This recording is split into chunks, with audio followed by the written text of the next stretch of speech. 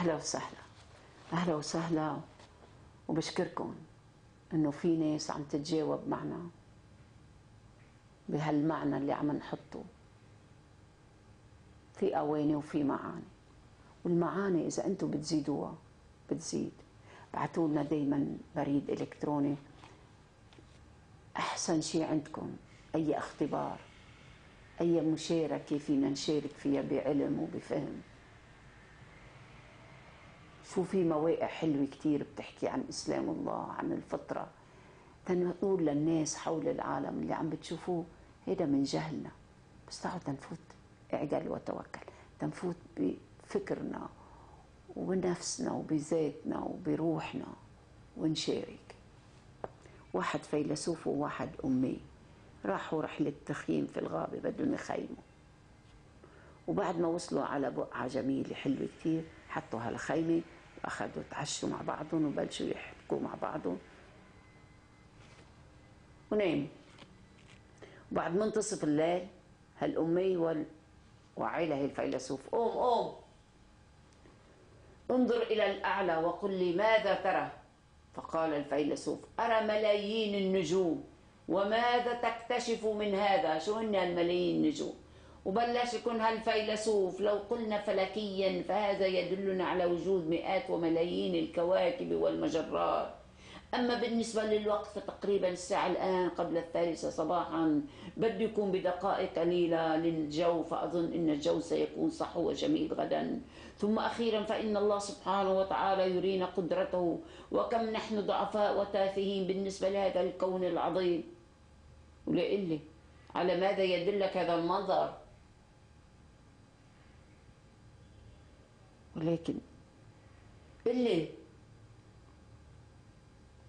انه يدلني على العلوم وعلى قال له يا حمار أنا عم بقول لك أنا الأمي بدي أحكي معك كفيلسوف وللخيمه مدري مين اجى وسرقها. ما نتفلسف نسمع له لهالأمي. شوفوا اللي عمل سفينة نوح وسفينة أرارات.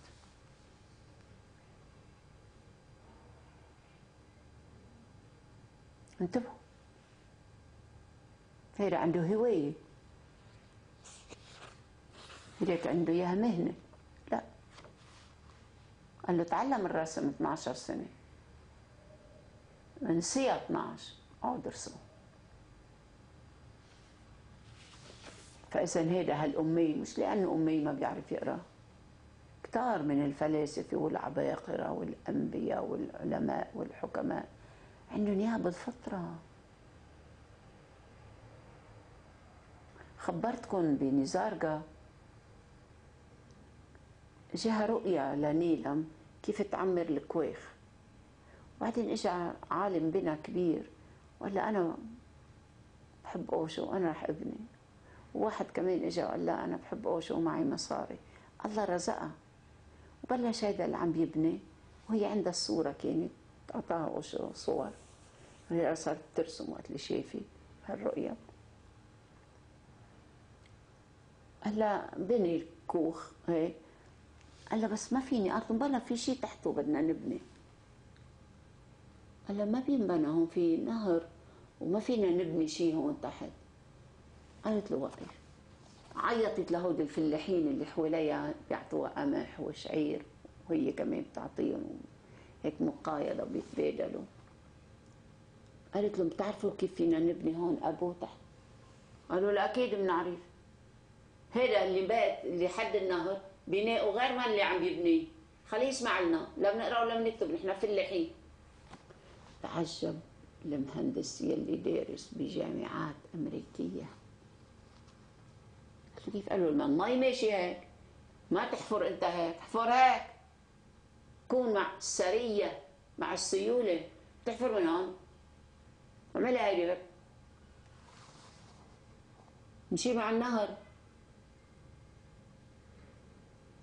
دايما بتشوف إنه هيدا إنسان مش متعلم احكي معه. بيتكل على الفطرة الفطرة بتوعيه. بالفطرة.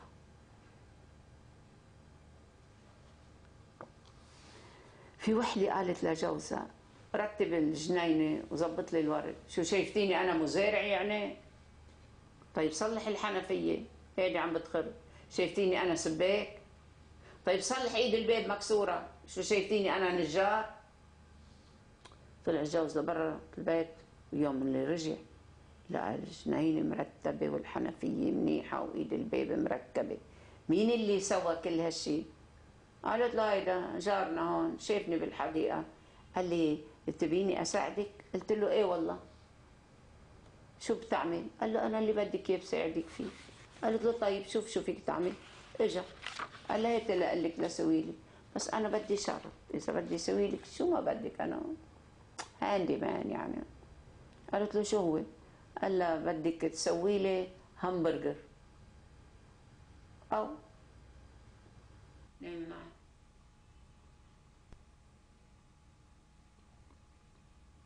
قال له شو عملتي؟ أكيد عملتي له همبرجر كثير منيحه جوزها قالت له شو مفكرني أنا بشتغل ماكدونالد؟ همبرجر تبع الماكدونالد؟ ما في كلام يعني. لا النسوان شو أنا بعرف هيك؟ مثل ما أنت ما بتعرف هي كمان ما بتعرف. قصة حلوة كثير يمكن صعبة شوي.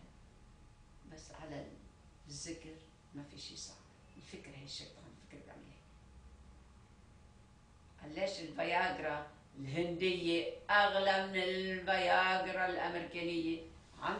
الهندية أغلى. قال له إيه؟ قال له ليه قال له بحسب يضل يهز راسه. هلأ شوفوا هون شو عم نعمل. صر فنجان القهوة القصة وقف البروفيسور الأستاذ الكبير قدام تلاميذه اللي تخرجوا كلهم. ومعه بعض الوسائل التعليمية. وعندما بدأ الدرس دون أن يتكلم أخرج عبوة إزاز فاضي بده يحكي. قال له هاي قنينة فاضية. رح حط فيها طابة الجولف. سأل التلميذ هلا فاضي مليانة هاي؟ مليانة فيها طابة أخذ صندوق صغير في بحث صغير حصى حطهم فوق هاي وبالطبع ملأ الرمل باقي الفراغات اللي فيه. سأل الطلاب مرة أخرى. كانت الزجاجة مليانة شيء؟ لا. شو كان فيها؟ فاضي. حطينا الطاولة حطينا بحث حطينا رمل بعدين قالوا لك هنا معي فنجان قهوة وما بحط كب عم. هالبحث. أول شيء الطبيعة الكبيرة بعدين البحث. بعدين الرمل بعدين فنجان القهوة هالمي فات بالكل. ضحكوا التلاميذ وبعد أن هدأ الضحك شرح البروفيسور الحديث قائلا الآن أريدكم أن تعرفوا ما هي القصة. إن هذه الزجاجة تمثل حياة كل واحد منكم. هيدي حياتي شو بدي أحط أول شيء بحياتي أنا كباية فاضي. شو البرايورتي الخيار عندك؟ شو اللي عندك أهم شيء وضرورياتك بالحياة أنا مصاري. وأنت شيلات على الحيطان. وأنت وأنت وأنت فكر كل شيء بعدين بتكبوهم بتحطوهم آخر شيء عندك فنجان القهوة. فات بين الكل. فيكم تشوفوا إنه بضل في عندك حياة مهما كانت صعبة. شو ما عملت للضروريات والمهمة اللي عندك والأشياء الهامشية بعدين بتحطها. أه ربى شي طابة بعدين تعبت هالكباية تقعد أنت والصديق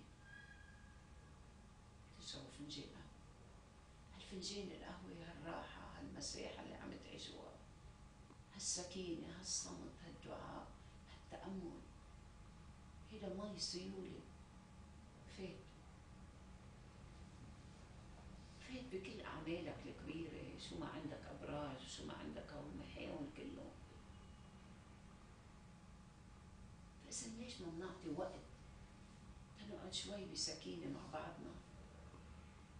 ليش ما بنفكر إنه هيدا رفيقي وهيدا رفيقتي وهيدا خيي